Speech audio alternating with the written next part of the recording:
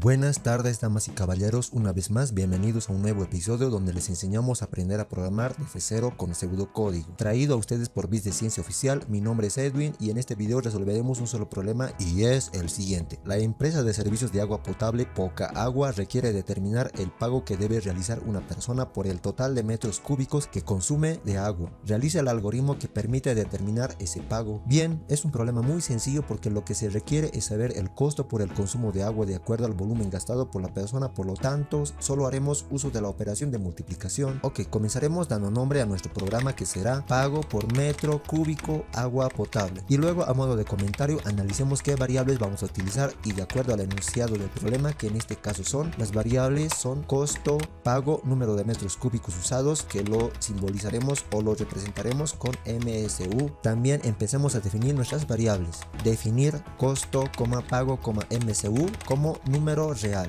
Ok, comencemos a escribir nuestro programa. Ahora sí, vamos a pedir al usuario que nos digite el número de metros cúbicos usados. Escribir, ingrese el número de metros cúbicos usados. Y lo vamos a guardar dentro de nuestra variable MSU. Bien, ahora vamos a pedir al usuario que nos escriba, ingrese el costo en pesos por metro cúbico.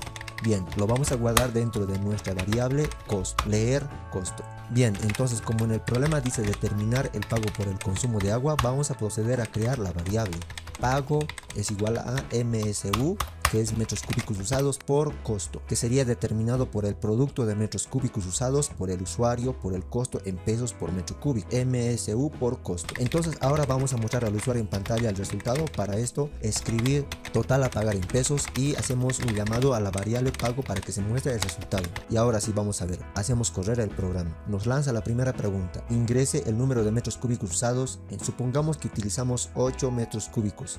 Luego el programa nos pregunta ingrese el costo en pesos por metro cúbico y supongamos también que es 4 pesos. Bien, pues el programa funciona y nos da como resultado 32 pesos a pagar. Bueno, eso sería todo. Recuerden apoyar los vídeos de nuestro canal Viste Ciencia dándole me gusta y suscribiéndote al canal y activando también la campanita, muy importante para recibir notificaciones sobre cuando subimos un nuevo video. Espero que hayan entendido el tutorial y abajo en la descripción les dejo el link del algoritmo para que ustedes puedan copiarlo y probarlo en su computador. Les mando un saludo cordial y nos vemos en el próximo video.